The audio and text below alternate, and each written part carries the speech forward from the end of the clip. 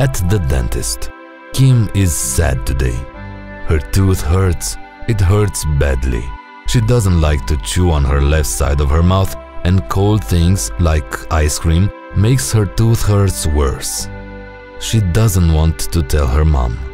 Kim is afraid of the dentist. She has heard terrible things about the dentist. She knows that the dentist pulls out teeth. Her brother says the dentist uses a big drill. Kim doesn't know what to do. She wants to eat a sandwich, but she can't. Her mother knows better what to do.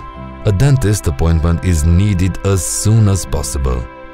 On the way, Kim tries to hide in the car, but her mother drags her into the dentist's office. The lady at the front desk is smiling at Kim. Kim is sitting on a chair in the waiting room feeling a little bit better. She is waiting for the dentist. The dentist is a tall man. He is not a grouchy man. He even makes Kim laugh.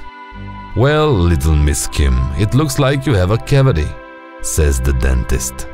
Kim doesn't like holding her mouth open for so long, but the dentist continues to work. He helps Kim's teeth feel good and look nice.